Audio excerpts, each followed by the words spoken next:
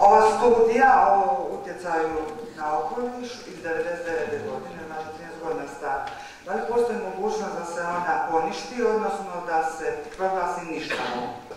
Da li ćemo imati potop, ili će nestati voda i još nešto, što će se dogoditi ako budete vi pravila, nadam se ne, neće to saživjeti, što ćete sa tim muljem? Kako ćete riješiti mulj? Gospodinu iz HEP-a i svim HEP-ovcima, da li ste spremni potpisati da pod krivičnom i materijalnom odgovornostu stojite za projekta? Tako je! Ovo su samo neka od pitanja koja muče Dubrovčane oko izgradnje oko 150 milijuna eura vrijedne hidroelektrane Ombla. HEP je imao spremne odgovore. U svijetu je napravljeno do sad 35 podzemnih akumulacija, raznih veličina. Od toga je 20 njih u kršu. Najviše u Japanu. Ba, površine tih brana su veće nego što je Ombla. I one su efikasne i danas. Izgradnja podzemne protočne hidroelektrane za stručnjake je sumnjiva. I tu ja, odnosno mi iz zaštite prirode i biologije jednostavno ne možemo reći ništa drugo nego štete će biti.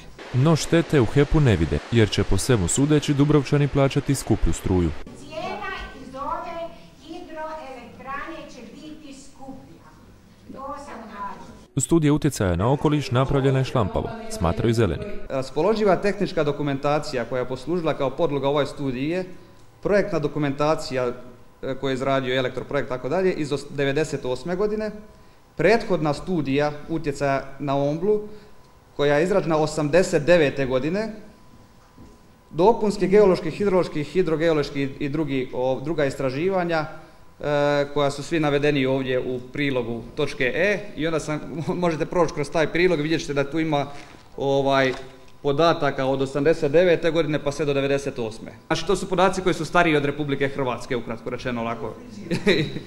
Predstavnici HEP-a zaključili su da bi hidroelektrana trebala isplatiti sama sebe za 14 godina.